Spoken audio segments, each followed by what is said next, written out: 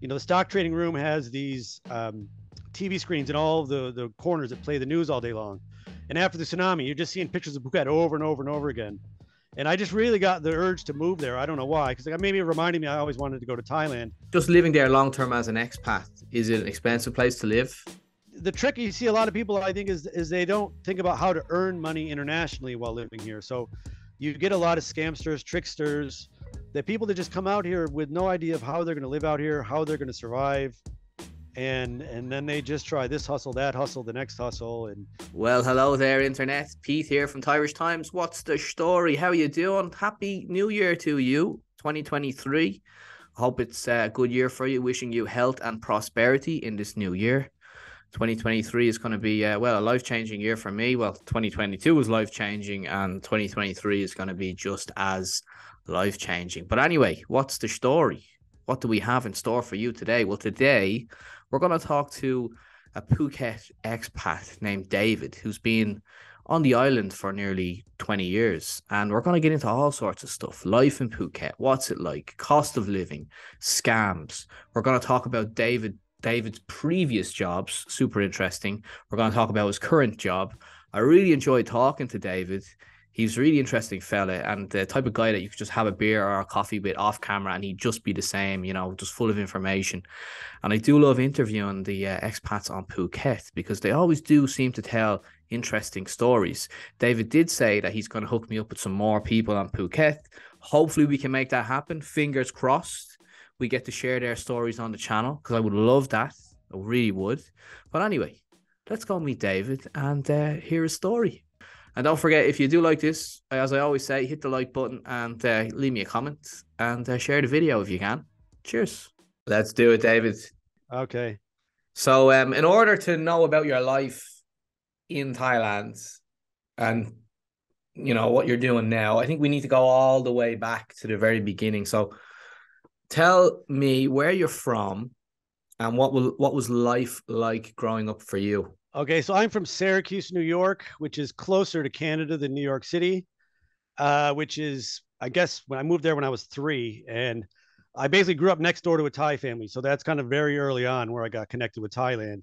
The girls were like, one was uh, my older brother's age, one was my age, and there was a younger one. The families we'd get together for Christmas and holidays. I grew up eating Thai food at their house. So like they were telling me stories of Thailand from the time I was a little kid, and I'd go to their house and I'd see all the pictures on the wall. And all the cool Thai artwork and stuff. So I've kind of always, you know, had this idea of someday I want to go visit the place they're from. Uh, and, you know, very different. Obviously, we'd get like three, four feet of snow in a night. We'd get these crazy winter blizzards, really cold, miserable. People weren't very, I don't think, very happy. Uh, you know, we got two, three months of nice weather a year. Uh, for me, I just, I've always liked the heat, the sun, and definitely where I came from, we didn't get any of it. I was actually there years ago in, in Syracuse. I passed through it on the way up to Toronto from I think New right, York. Okay, yeah. Yeah. Um, I went up through summertime. It was nice in summertime, but I, I've heard I've got a couple of friends in, in that area of America and they always just complain about how cold it is. But anyway, um, so like growing up as a as a teenager into your say early twenties, like uh, were, what were you doing then at that period of your life? So I, I went to school and I was I was a kind of a skater punk kid. And in my in Syracuse, we actually had like a, a big vegan straight edge scene. I got into punk rock bands. Uh, so I, I I I thought I wanted to be a musician when I was a kid. So I, I did start traveling, playing in little bars and stuff all up and down the East Coast and maybe in the Midwest a little bit. And that was, you know, along with going on a lot of holidays with my parents, that's kind of I got the travel bug a little bit.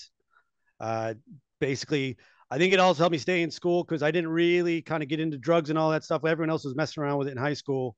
And just by the fact that I was in this straight edge band, you know, if, if you messed up, you got kicked out. So I think it, it helped me kind of get through school and out the other end. Whereas in my hometown, you know, a lot of the kids I grew up with just kind of went to prison or went nowhere or, you know, got really messed up and things that I was able to avoid because I was into the skating scene. So, how did you become a, a, stock trader then? Because that sounds very different, kind of a lifestyle to a, a stock trader. Well, it, it, that was kind of what came later on. So, I, I basically eventually, I always kind of had pretty good discipline and not doing anything too crazy, even though I was always kind of surrounded by craziness. You know, I think that's something that's a skill that pays off in a place like Thailand as well. So when I'd be on the road and you'd see kids getting into this really bad stuff, you know, the kids would be doing heroin and all the sticking needles in their arm. I kind of always instinctively knew that this is not right. You just don't cross certain lines. And after a while, I realized that this was kind of most of the people that were living that lifestyle were going in a bad direction. So I basically went back home. I studied really hard, got straight A's. Uh, and the only reason I chose finance as a major and started studying really seriously was because back then they didn't call they didn't have the word digital nomad or or even the word remote. I think they used to call it telecommuting. And I remember going into the guidance counselor's office in in university and thinking like I need to choose a major. And th- the whole idea that you could do a job from the computer and anywhere in the world, there was only like three or four jobs listed back then, and it was like computer programmer, stock trader. So I was like, well, I've always been really good at math. So I said, like, let's let's start taking extra statistics courses. Let's start doing projects uh, to try and learn how to predict the stock market. And then that kind of just took on a whole world of its own, and eventually ended up as a stock trader. And where did you work as a stock trader? Uh, well, first I started doing it, it, it on my own account in university, and it, back then it really felt like I was playing a video game. It was really fun and exciting. Uh, then I, I I first tried to get a job at a hedge fund in the in the Caribbean actually, because uh, I had a job offer with Lehman Brothers in New York City, and this was right after 9/11, and everybody thought they were going to nuke New York City. They're going to nuke New York City. So I was terrified to go live in New York City at the time. Uh, so I, the Caribbean was a horrible experience. So I ended up then in Atlanta, and I figured nobody really wants to blow up Atlanta. So I started trading stocks in the Atlanta Financial Center at a small prop trading firm, which is eh, something I always tell people when they start asking me about trading. Is that if you have to pay someone to teach you how to trading, they probably don't know how to trade. So I had a company that put me up in corporate housing. They gave me an account to trade. They taught me how to trade their money. And I always tell people try to find this kind of setup because if they're willing to put their money on the line, it means they've actually got something to teach you. But if you're paying them, then if they could trade, they'd be trading. They wouldn't be be out selling how to teaching how to trade courses. What was that lifestyle like? What is it like the, the, the movie Wolf of Wall Street? Is it fast paced? high high stress levels or like what kind of a person is suited for that kind of a job well this is the wolf of wall street is actually about brokers and actually about scam artist brokers which i could tell you loads of stories about that from later on. But uh when you're actually a trader you're it's it's it's it's high stress but it's not like wolf of wall street where everyone's screaming and shouting. I mean there are days where people are kicking over chairs and getting really pissed off because they've lost a lot of money real fast. And some people are you know you go to the bar after work and half the room that lost money is kind of crying in their beers. And then the other half that had a really good day you know they're buying drinks. Because basically every day you wake up and you have a pl number at the end of the day. So you either went to work and made money or you went to work and lost money. And that's a difficult thing to deal with mentally because you could be like 30 days or 28 days into a month and be having one of the best months ever. And in literally like an hour you could lose your whole month and you basically went to work for a month for free. And it happens. Like you have these occasional kicks in the gut that are you're constantly always on guard to not take a big loss. You just take a lot of really small losses and try to let your winners run it's basically scalping was the style we did which is you're just kind of in and out all day long just nickels and dimes and quarters over and over again not a very fun way to make a living when you're when you're doing it in university it seems like it's fun but then after a couple of years of grinding it out it kind of gets to be just tedious mm-hmm. So, how did you move to Thailand? How, what was that transition from a stock trader to Thailand? So, once I felt like I was a good enough stock trader to to make a go of it, I I had to switch firms because the firm uh, I worked for didn't want me going remote. So I found another firm and I tested trading from home on my own for about six months, and then I felt like yes, I can do this. So I had a, a I got the idea from a girlfriend of mine at the time in Atlanta whose brother's frat buddy was teaching English in Phuket. And she was planning out to go and visit him. And I started seeing Phuket all the time with the tsunami. You know, the stock trading room has these um, TV screens in all the, the corners that play the news all day long. And after the tsunami, you're just seeing pictures of Phuket over and over and over again. And I just really got the urge to move there. I don't know why, because like, maybe it reminded me I always wanted to go to Thailand. Uh, so I started looking into how could I legally do that and trade from there and get a visa and all of that. And she basically, I had had a couple of friends that had taught English in places like Peru and Japan, so I knew this was something that was was possible. And basically, he said, "Yeah, come on over. You could basically get a 20 25 hour part time job, and you'll get a visa, and then you could trade stocks at night." And to me, that seemed perfect. So I went over and basically that's what I did. I did a TEFL course, moved to Phuket, got a job teaching English. And I mean, I think there were different kinds of jobs back then. Some you had to be on a contract with a government school where you're there all day long. I did one via language school, so I only had to teach the hours I was actually at at a property at one of the schools. So I think I got away with working like 13, 15 hours a week, got my visa paid for, uh, and was trading at night. And then I actually stopped trading once I kind of got established uh, because from here, the New York Stock Exchange opens about 9 30 p.m. yeah, you're working nights. I was I was also like 20 something, right? So I was in my 20s still. And that's when the bar scene really gets fired up. I moved to Nai Harn in 2005. It was an amazing time to be in Nai Harn in Rawai. Like Nai Harn was still like like where all the big condos are. I lived on a little dirt road and bungalows. I could walk to Nai Harn Beach. There was like a couple like a Mexican restaurant, a reggae bar at, at the lake there. It was really still just rubber trees, really nature, nature based, hippie kind of a little community there. There was already a really well established expat community, but it was off the beaten tourist path. Whereas now, I don't know how much you know about Phuket, but Rawai is just as busy as Patong now. I mean, it is maybe even gets more tourists in Rawai than Patong now.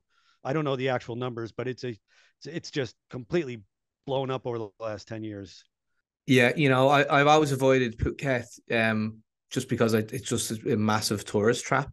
Um, I do like it. I'm not going to say I don't like it. I do like it. I could go there for a couple of days, three or four days. But Koh Chang, people, Koh Chang is what you had back in 2005.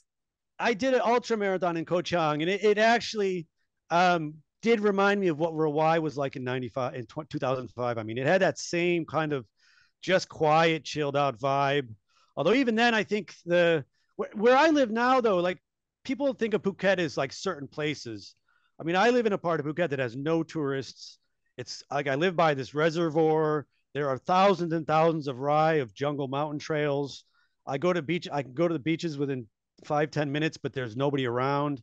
So I mean, there there's still a lot of that left in Phuket. But when people come here on holiday, they all go to the same two or three or four beach towns, and they're like so overdone and touristy that people think that that's all that Phuket is. Which in reality, I mean, there are parts of this island that are so desolate. You'd you'd like you'd rather go be in Isan because there's more happening.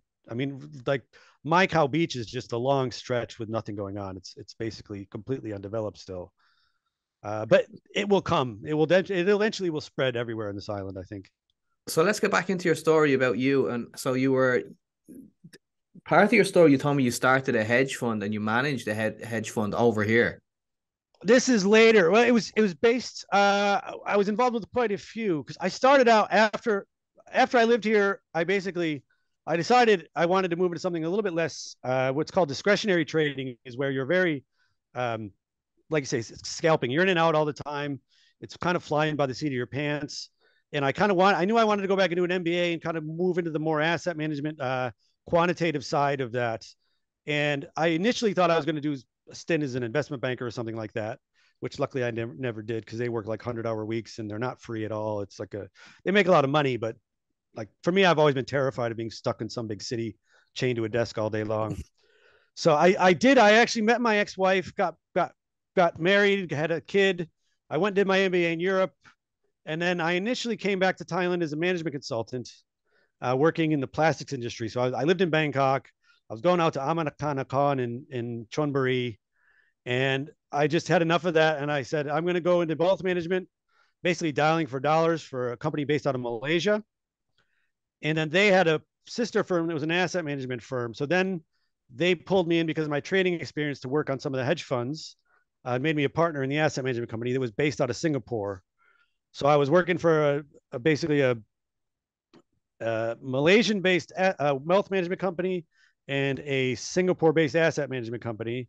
And then we got involved with another hedge fund where we partnered with a, a UK-based asset management company. Basically, all of them didn't do really well, but they didn't do horrible. And yet, in the hedge fund industry, if you like lose two or three percent a year for your first couple of years, you can't market the fund. Your track record is your you're basically you live and die by your track record. So those were really good learning experiences. And then I opened up my own fund out of the BVI's. And basically, I kind of had the philosophy that I was going to put my money where my mouth was.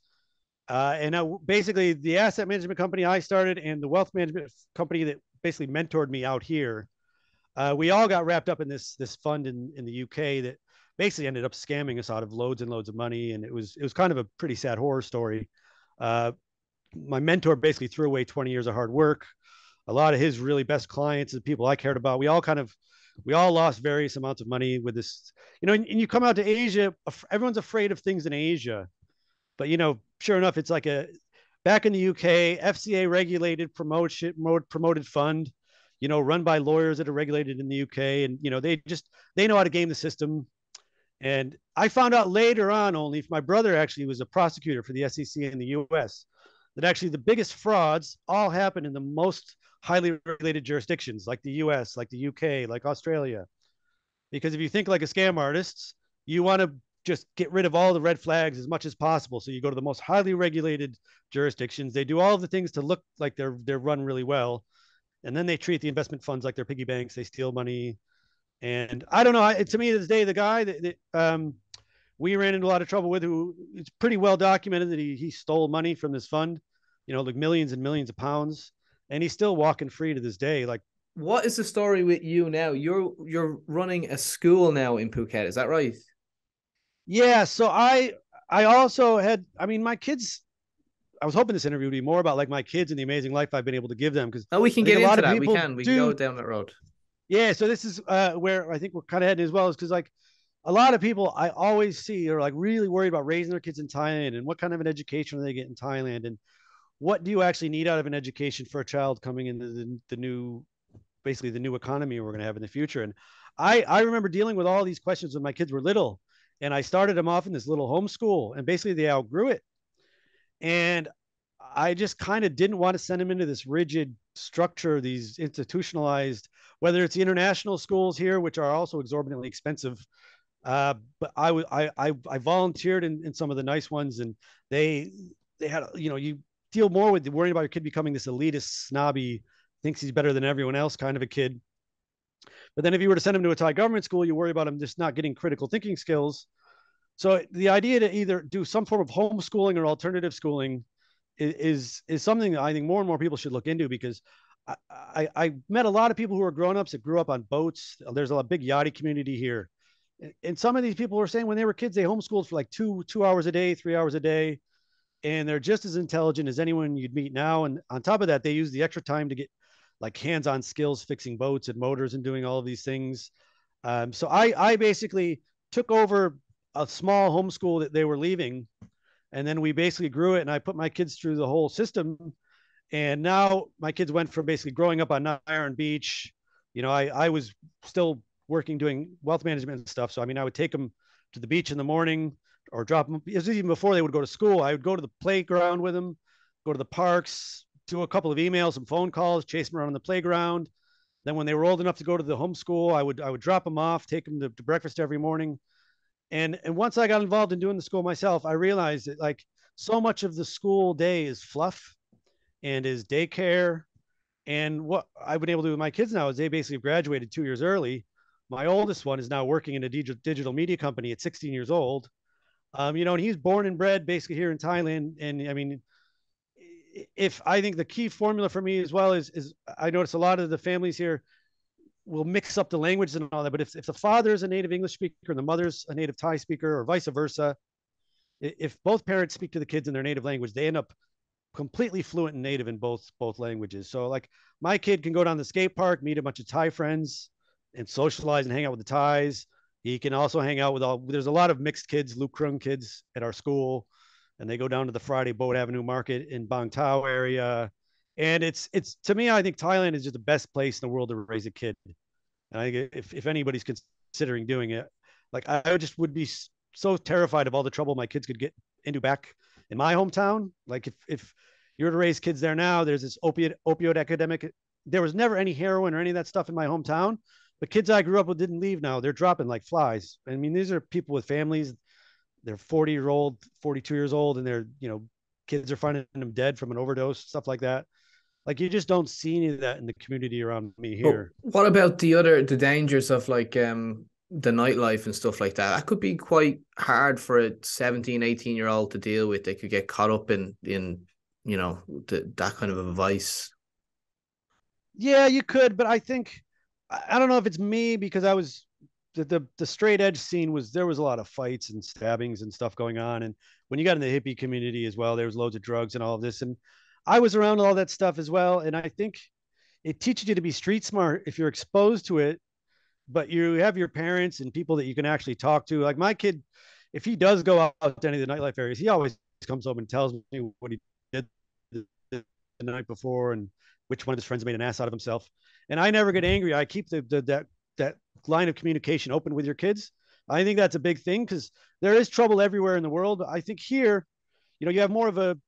I think even though Thailand night Thai nightlife seems so crazy, it's actually so much more relatively safe.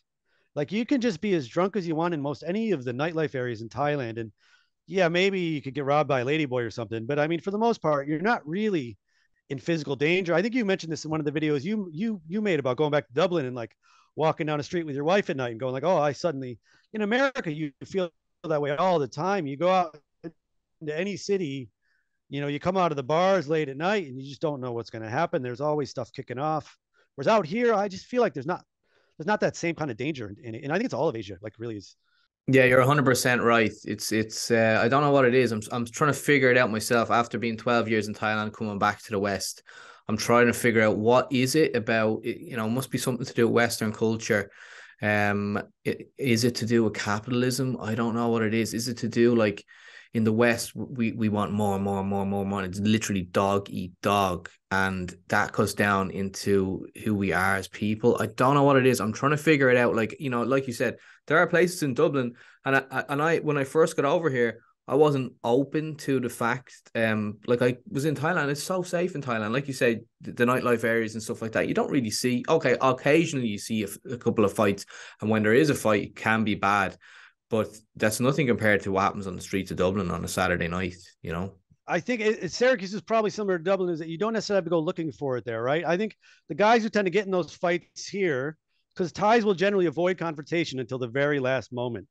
Uh, and then when they explode, they just go all out, right? So I mean, it goes from smiling to they're pulling out a machete and chasing down the road. Whereas, you know, I think in the West it's more like, oh, we'll have a quick punch up and forget about it. Thais don't have that mentality, right? They they'll smile and why and laugh and laugh, but if you're the kind of angry drunk that comes out here, that's the type I think that find themselves in trouble because if if you eventually back a Thai into a corner, like and you're not going to win because you, you, you this is their country and they'll fight you 10 on one and but you really have to go looking for it to get in trouble here. Whereas i think back home the trouble kind of finds you so you've got to be more on your edge and be wary especially like you know i spent some time in the caribbean and guatemala and there's even worse. I mean you're just constantly walking around like everybody's armed to the teeth everywhere and you just don't you know it's just not a nice feeling. You come out here i just I, since i've moved out here you just your guard goes completely down you just and I've never had any real issues the whole time I've been here. Let's go back to your school for a second. So, like, what is different about your curriculum? Have you developed some sort of new uh, curriculum, something that's different than the regular schools, or what? What we try to do is develop digital nomads. So, like, the idea is that we can't stray too far from what's traditional schooling, or people will be kind of afraid, you know, by the whole idea that it's too. So, we use like the number one international curriculum in the world for your math, your science, your English uh, so we make sure everybody's staying on the, the, the normal path they do uh, with your core subjects. But then, you know, we obviously, we also do a lot of the other stuff like art and we do Chinese, Thai, Thai grammar, social studies, all that kind of stuff. But then we always supplement it with, with different life skills. So I'll teach stuff about, we have like chess club, trading clubs. I do anything from philosophy to psychology to statistics, finance, accounting. Like we call these life lessons. And we just try to give the stuff that you you need in the new world that you maybe aren't going to necessarily be taught in school and also i try to give a lot of just kind of glimpses into different areas of study that you don't normally start until university which is only because the the modern education system was designed to keep people in one place to socialize you to sit at a cubicle or sit at a factory station for all these long hours on end sit down shut up do your part Whereas the modern workforce is people meeting in small groups, going to breakout rooms, doing Zoom calls. So like we try to have them working in small groups on things, getting them used to doing online projects. So like my my son and his best friend, they're kind of spearheading the older group where they were doing like professional level like IBM certifications and like SQL and Python. some of these coding skills that are going to be very high in demand and basically getting them introduced as well to the the different types of of stuff you can do where you can earn money and be a digital nomad is I, I really think if if if you set these kids up to have those kind of options they can still go to a brick and mortar business and and basically go to work uh, in a big company or whatever but they also have the option of living somewhere like phuket and earning a western money and doing what you know Tim Ferriss called the geographic arbitrage many years ago, which was something I thought, hey, that's what I'm doing right now. Actually, I'm earning Western money living in Thailand back in 2005, and you know now more and more people are switched onto it. There's this growing digital nomad scene.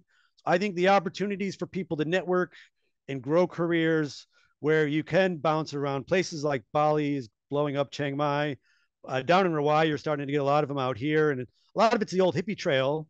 And the digital nomads don't like it when I call them the, no, the new backpackers but they're basically doing what people used to do 10, 20 years ago. They're young, they're in the 20s, they want to go out and they see the world. You, you can be some sort of a YouTuber or content creator, and you don't need to earn a ton of money to bounce around from places like Sri Lanka and, and Canggu and all these places.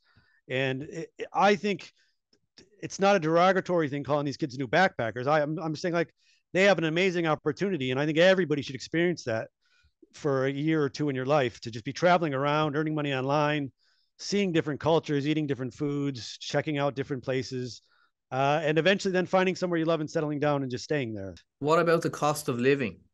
Um, say I always compare Phuket for me always seems about 20 30% more than other parts of Thailand. I'd say it's not too much more expensive than Bangkok, but uh, just living there long term as an expat, is it an expensive place to live? it can be super expensive or super cheap. Like I, I used, I had a house in Isan and I used to go up and spend two, three months in Isan. And I would say when I was living in Isan, now keep in mind, I had the house there and I've bounced around here. I've always, chose, I have land here, but I haven't built because I don't want to be stuck there. It's still too undeveloped. It's actually so quiet where my land is that I don't want to move there yet. And, and I've moved around to like 10 different houses. I always find a three bedroom house for somewhere between 10 and 15,000 baht a month. And that you find people coming here and renting places for like 100 200,000 about a month.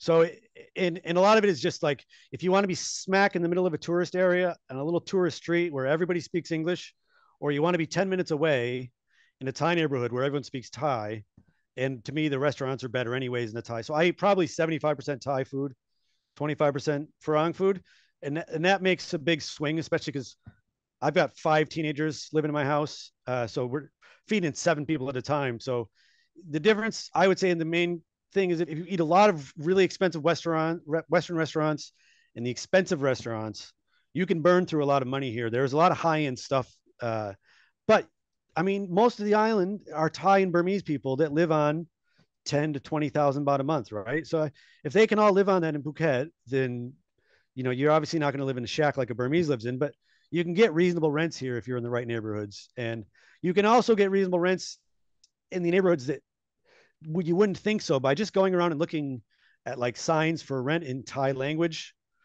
And again, I know a lot of people can't do that, but most people come here, they get an agent, and you're going to pay five times the price for a rental if you get an agent, as opposed to going around looking at, at signs written in Thai for rentals. And that's something I, I guess while we're on that subject, I think everybody should learn Thai, learn to read and write Thai. If you're going to live here long term, it, it just creates a completely different experience for you if you do it. Like you, will you'll understand different aspects of Thai society that you never get without the language and without being yeah. able to read. How integrated are you in the culture? You know, learning Thai, speaking Thai, and knowing the customs, and being able to, you know, work the, I suppose, the the Thai magic. Yeah, I mean, I I learned to read and write almost twenty years ago, so I I've been doing it for a long time, and I worked in, in in schools and I own my school. I work with a lot of Thai families and I spent a lot of time in Isan, learned a little bit of Lao, although me and my ex-missus split a while ago, so I haven't really uh, gone back up there or practiced. Uh, my new missus is from the south now, so actually trying to pick up the southern dialect, but that that's probably the hardest one to learn. Uh, it's really sing-songy birdie. It's it's a funny sounding. Yeah, the southern dialect always kind of made me laugh. Like it's always sounded way different than the other dialects. It does. It's it, it it's even I, I can understand it, but like to make myself make those sounds now feels as funny as it originally felt making the Thai sounds 20 years ago. You know, like when you first have to make the tones right and all of that, you just feel a bit funny. It doesn't feel right. I mean, I I would go to um, I would go to a Thai teacher during the day, practice sounds with them, and then I would have to go out to the bar and get a couple of beers in me to get the beer muscles to actually even make the sounds, you know. And one or two beers, and then all of a sudden, uh, you're more. It's just it's a relaxing thing. It's it's all in your head. Like you can make the sounds. You could you could have made them without the alcohol, but you just needed those one or two beers, and now you have a little bit of like Dutch courage, you know, and then it, then it comes out. It's crazy. And then after a while, you don't need it anymore. I mean, I got to the point where I was giving speeches on stage in Thai. I, I, I actually got sucked into with some of my Thai friends from my MBA. I got sucked into doing network marketing for a little while.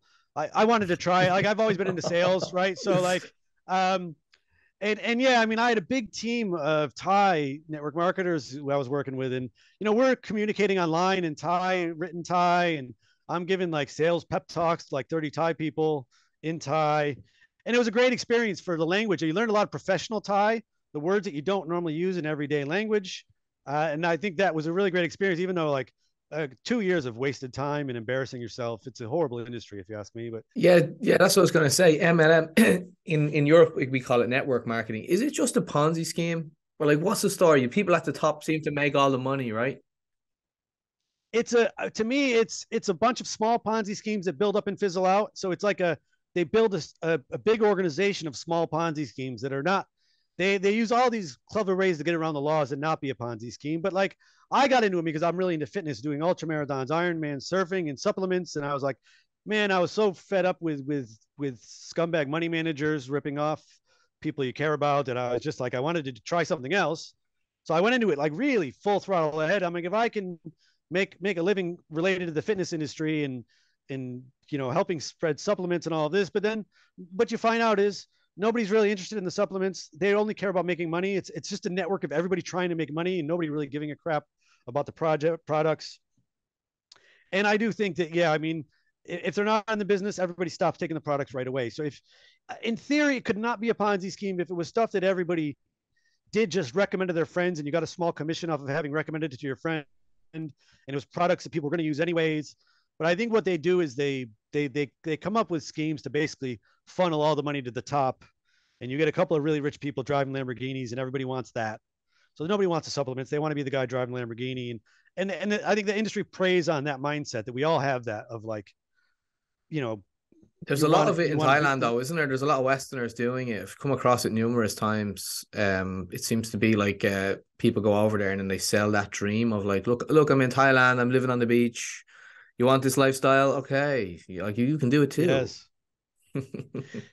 yeah, that all kind of came after I got out of it because like the whole YouTube influencer thing was just kind of revving up as I was getting out of that.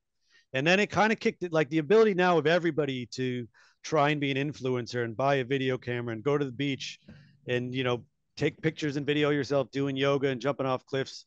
I mean, it's so cliche. Everybody does it. Uh, and you just i mean it's cringeworthy here. You go to the beaches and you just see everybody's doing their homemade photo shoots. Yeah and it's just um, i don't know if anybody buys into the bullshit anymore but i think uh, there must be people still like they say there's new sucker born every every minute right? So i guess it seems to work. People people just um i mean look like even if you look at my channel now um when i was on in thailand and i was interviewing in, in thailand like it was a lot it had a lot more i think um impact on people like oh he's over in thailand now. He's oh look he's interviewing this person beside the beach. And it's there i think in the west i mean we when we look outside and it's a gray sky and then we we always want more isn't it? People want to have the better thing and look at this person. They're over there in that country. Look what, what are they doing? And it just plugs into people's minds and that's why we have influencers. That's why we have all of that. And thailand just seems to be a place that it's easy to do it because it's got beautiful beaches and know it's cheap. People can do it over there. The trick you see a lot of people, I think, is is they don't think about how to earn money internationally while living here. So you get a lot of scamsters, tricksters.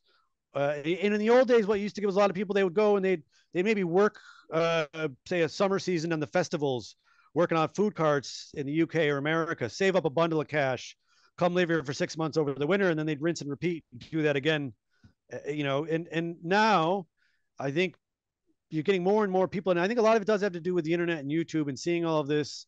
That people that just come out here with no idea of how they're going to live out here, how they're going to survive, and and then they just try this hustle, that hustle, the next hustle, and you know some guy came up to me on the beach just yesterday actually, some some fast talking London boy.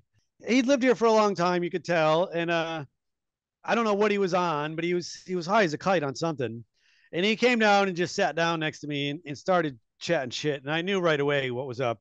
I don't know what he wanted to by the end, but I, I kind of I was like, yeah, no, man, I've been here 20 years blah blah blah. And he he kind of got up and wandered off, and I saw him sitting down next to some tourists. No idea what kind of scam he was trying to run, but like I could just tell right away that this guy was sitting down to me for no good reason, right? So I, he didn't try the lost passport scam. Oh, I lost my passport. Remember that happened to me before. Some guy came up to me. He was like, "I lost my passport. Like I can't get out of here. I'm stuck here. Anything you can do?" And I was like, oh man, here's like a couple hundred baht. Like, hope you get yourself sorted. Next day, I see him again doing the same thing. I'm like, what an asshole. The beggars come, the beg packers come through, and, and like, luckily, Thailand's pretty good about arresting them and kicking them out because it's, it's, I mean, you got so much poverty here, you know, to come out here, a spoiled little rich Western kid and beg for money on the streets of a really poor country. It just makes all of us look bad, you know, like mm-hmm. all of them. But I mean, I can understand wanting to stay here, but like, it, it amazes me how like especially lately they've been doing this uh, uh, crackdown on overstays in Phuket and every couple of days in the newspaper these guys are like 12 year overstays five year overstays. Thailand makes it so easy. They give you so many options to legally stay here.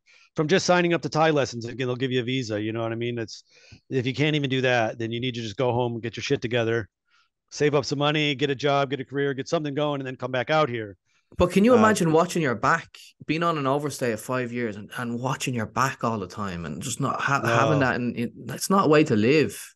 Most no, of the guys not, just stay no. at home. They just stay at home. That's all they do. They're just scared to go outside. Yeah, I just don't understand why. Yeah, I don't know if it's like it starts like the oh maybe they go to renew it one time it gets messed up and they're like trying to figure out what to do. A couple of weeks go by and then maybe a couple of months go by. I don't know, but uh, for me, it's the kind of thing that if it's a day or two away and you haven't got to sort it out, you're hopping on a plane and you're getting it. I mean, I've always been on marriage visas. I've always done it myself. And now I, I got custody of my kids. I do custody visas. Uh, so it's, it's pretty easy for me because I just have to show money or whatever and they, they extend it. But I think even for everybody, it's not that difficult to be legal here. You have a myriad of options that are all relatively inexpensive. Yeah, you know, whenever whenever anyone ever complained to me about the visa or said like, "Oh, what visa do I need?" or have problem with this and problem with that, I always say, like, the thing about Thailand compared to say Ireland or anything like that is there. It's hard to explain to, to people that never been there because I'm trying to explain this to my dad and he's he's been there on holidays, but he doesn't really get it some some of the time. I better be careful because he's watching. But anyway, just like basically, it's like in Thailand no doesn't mean no. It means that there could be another way. And that's how like that's for everything across the country. Like there there could be another way. It's flexible. Everything is flexible. Whereas in, in the West, it's like you can do it or you can't. Yeah, that's something I don't think I could go back to the West after because for me, it, it's uh, you've I've always been able to manage to get everything done, right? But it's never the way you think it's going to be. And and I've I've I've gone off on using agents for the most parts. I mean, we have some with the school we use who are really good, but like if you can never do anything yourself here, go straight to the government office that you need, ask them to help you to, t- and always just ask humbly for information. And then they always find an exception for you. They're like, well, you could do this or you could do that. And and I've always made everything works. And this is like you're, you're running around, you know, trying to get school stuff sorted and buildings need to have their building permit changed to be for education and all of these things. And you know, you like I, see a lot of Farang going and act like they know the law and they're screaming and shouting and getting flustered, and then you never get anything done here. But if you just go in and ask for help, you can always make Thai people are very pragmatic like that. They'll always figure out a way to make it work. Uh, yeah, very. That's my key. I never got angry when I was sorting out my visa or I was in at immigration or uh, at the labor department getting the work permit. You know, it's just you stay quiet. That's the way it is. You talk, you speak when you're kind of spoken to. You know when to why, you know when to talk, when to not to talk. The last thing you want to do is like big brash, like here I am, where's my yeah. visa? Like where's my stuff? And you don't want it now. Come on. Like it doesn't work that way. You're gonna get in no, trouble. But you you get that here a lot. And I remember when I first moved here, somebody called it the Thailand disease. Hold on a second, guys. Let me I should have put what, that on What's the Thailand disease? I'm interested. Uh it's just the inflated ego foreigner that comes over with a little bit of cash and they're the the thing with those kind of guys you see in immigration is they're used to dealing with Thai agents that where they can scream and shout at them, and the Thai agent just smiles. They don't care because they're taking their money, right? And then they go in the bars and they deal with the bar owners and the girls who will t- let them do whatever they want because they're flashing out the money. Uh, and then they go into a government office and they try and act the same way. And the government office is like, no, this doesn't work in here like this. And and it is a thing. Uh, the Thai hospitality, it's so good that it actually ruins it for a lot of people because they come over, especially if you you were in an industry like something like construction where you got to be a hard ass and a driver to get things done. And you know, you you just you don't talk to Thai people the same way and expect things to happen unless you're in these certain instances like the people who come here and they live in these little bar bubble areas right where they're in the bars all the time and and and they, they're you know they then take this really this this nasty attitude with them when they go out into the rest of Thai society and yeah, it's a warped view of, of Thailand. They don't see the real Thailand. They're they're in that weird bubble of like the, you know, like you said, bar bubble and and uh, tourist bubble whereas they never and then they always have this warped opinion of like what who Thai people are and you're just like listening to them going this is not right. You're not you're you're, you're yeah you're, no. it's just wrong. Like you're wrong. But th- i don't hang around with those people. I never did. I didn't i never gave them any time. I just could not be listening to people complaining about thailand and stuff. If you didn't if you don't like it just leave. Simple. Yeah. The great thing is those people tell you who they are by the end of the first conversation with them usually right? Like you're out you're out having drinks with some mates or whatever. They sit down with you. Within the first hour they've probably slagged off thailand thai people this that and you kind of know they, they generally yeah. show their true colors right away and they're just like yeah all right i'm um, next time you guys go out for drinks with this guy i'm probably not going to go right? And the thing that is is i think nice about thailand as well though is you tend to find out who all like the really kind of racist and obnoxious people are pretty quickly here and then you know you just learn to distance yourself from them whereas in America, like you you you can be around racists for a long time and not realize it, and then all of a sudden it's like they start saying some obnoxious things around uh, colored people or whatever. You're just like, dude, what are you doing? Like, don't talk, don't don't rope me into your bullshit, man. Like, and and now here again, I think, yeah, th- there's something about Thailand I think it opens people up as well. So like people are more open here. So you, you generally, I think, it brings the good and the bad, and you you you could sort out who the people are pretty quickly. So like I always say Phuket, you get the dregs of society from the West, but then you also get all the geniuses, all the amazing people.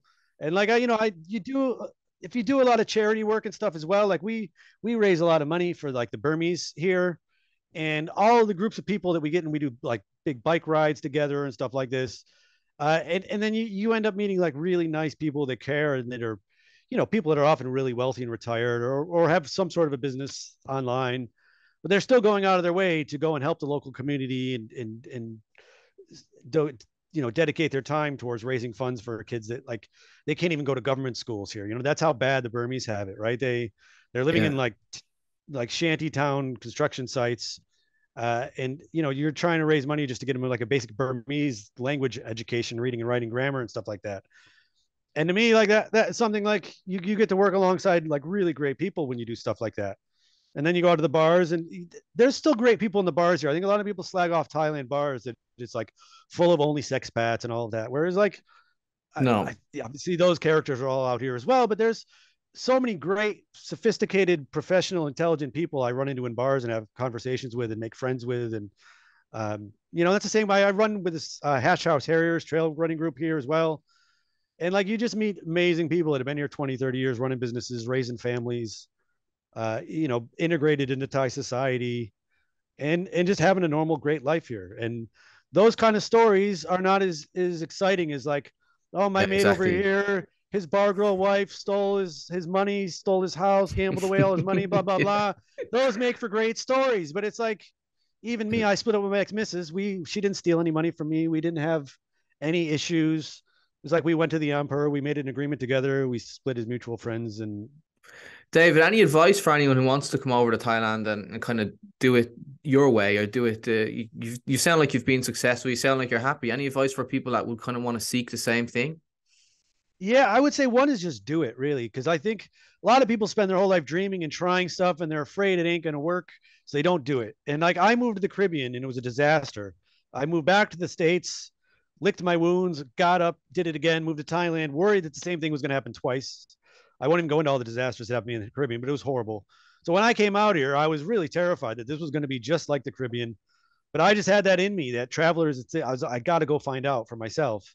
And I think there's two ways you could do it if you wanted to come out here and make it work.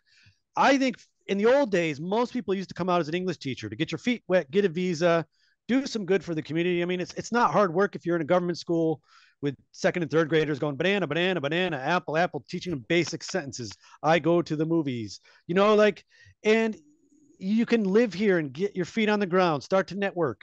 Then you can slide into brick and mortar businesses, or like I came out as a digital nomad, you could also spend a bit of time, develop an online income stream of some form. And as soon as it's big enough to cover a very small amount of money, you can probably sort out your education visa, come here, spend six months or 12 months. And I think what most people do, they end up not leaving. Uh, Thailand, at least Phuket, like a lot of my old, my, my business partners is, is from the UK. So it's a lot closer. A lot more of his friends would come visit than my friends. Barely, very few people come from America because it's so far. But so many of his friends, they'd come out on holiday one year, they come out on holiday the next year. By the third year, they decided to make it stick somehow, and and they would just do any kind of a random legal job, get a work permit. But like they almost all would come out, teach English for a year, and now you know, ten years later, they're all still here. Like they just stay. And I think for me though, the the having a discipline, getting in groups of communities that are positive as well, like. Uh, and it depends on what age you're at. Like if you're in your 20s, yeah, you're going to be doing more of the nightlife stuff. But if you move into your 30s and your 40s, it becomes more about your career or your fitness, your family. You know, I always try to balance out all those aspects. And I think, yeah, I honestly think you could come out here and do just about anything be successful. I know people that have come out here and opened up restaurants and made tons of money, uh, open up like logistics companies, make tons of money, get into hotels. Uh, there's this misconception that Thailand is a place you come to bring money and you lose it all here. Whereas I came in my 20s and I know tons of people that came here at a young age and they built lives for them here. They built businesses uh, and you build them from scratch the same as you would back home. Trial and error, fall on your face, you get back up, you try it again. Something doesn't work. You maybe, you know, I know people that they've had to go home for two, three years, come back, you know, to make it work again. But, you know, they stay out for five, ten years, fall on their face, go back home, work a couple of years, come back. Um, that's it. Come back, learn new skills. Like uh, life, life is ups and downs. It's not always ups. You got to just. It's all about having that positive mindset. But David, we're gonna leave it there. Um, I'd okay. love to have you on again. Uh, I really enjoyed the chat, and I, I like the like I like the, the positive kind of uh your angle that you take on life, and I you're definitely someone that I could have a beer with and, and just talk with it with off the camera yeah, as well. You know. Um, yeah, if you're ever in Phuket or back in. Thailand oh yeah, I'll be there for sure. For sure, I'll be there. Probably I'll be in Thailand in in the summer anyway. Next summer, June, July, August, sometime then. But um, yeah, yeah. So come down, bring the wife down, come do a trail hike with us at the hash, meet some of the guys. Uh, and I'll definitely, I'll, I can, I'll give you a list of like five, ten people, short bios on them as well, because I, I, there's some really interesting people I know down here that would be cool to be on your show as well. Like, yeah, if you got, yeah, I'm, I'm always looking for interesting people. That would, that would be great help. Yeah, for sure. I'd love to hear their stories and get them on the channel for everyone else to enjoy as well. So, anyway, David, we're going, I'll leave it there, and uh, I'll, I'll talk to you online. I got your line, so I'll send a couple of messages and uh, I'll chat to you there. But uh, thanks very much, cool. and all the best. No, thank you. I enjoyed it as well. Thanks you too. Take care, David. Have a good one. Yeah, you too. Cheers. Bye. See bye. See you.